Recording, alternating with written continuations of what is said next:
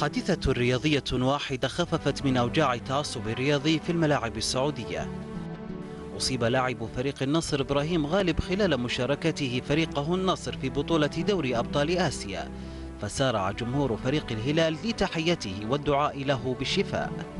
ما حصل لغالب أصاب الجماهير النصراوية والسعودية بالحزن حيث سيحرم الفريق العاصمي من خدماته حتى نهاية الموسم.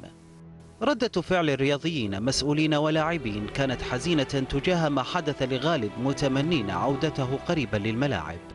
جماهير ناديي الاتحاد والأهلي تمنت الشفاء أيضا للاعب السعودي إضافة إلى لاعبي الفريقين الذين رفعوا قمصان عليها صورة غالب. وعبر تويتر توالت تغريدات من لاعبين ورؤساء أندية. كرئيس الهلال السابق الأمير عبد الرحمن بن مساعد والمحترف الأجنبي في الهلال تياغو نيفيز. الروح الرياضية الغائبة في كثير من الأحيان عن الملاعب السعودية. كانت حاضرة بعد إصابة إبراهيم غالب على مختلف مدرجات الأندية إضافة إلى ساحة تويتر التي حفلت بالعديد من التغريدات الداعمة لإبراهيم غالب. محمد اليوسي العربية.